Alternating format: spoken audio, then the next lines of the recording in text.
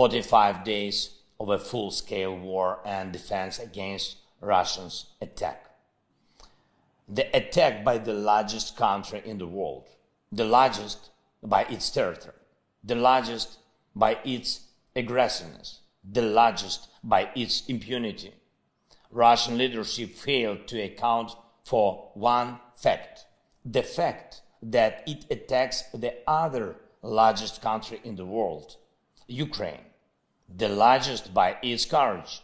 We're not afraid of massive missile strikes, Russian aircrafts, and never ending tank columns. Ukrainian courage has inflicted heavy losses on the Russian army, which has already lost more of its soldiers than during the previous decades of regular wars. Ukrainian courage has already united the whole democratic world. Millions of people in different countries are witnessing our courage. The people from different countries know about our bravery. It shall always be remembered in history. But I would like Ukrainian courage to be shared by everyone in the world, just as we are defending ourselves against the greatest tyranny of all. So the other people of the world should bravely resist this tyranny.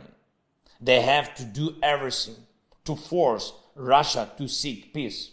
They have to do everything to hold Russian soldiers and their commanders accountable for their crimes against the Ukrainian people.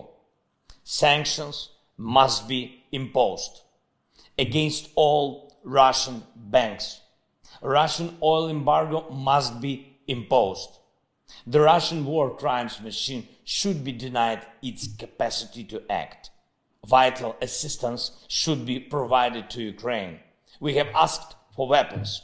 We've asked for financial assistance. We have asked for support to Ukrainian migrants, for those 10 million people forced by Russian to flee their homes. The democratic world had the power to help.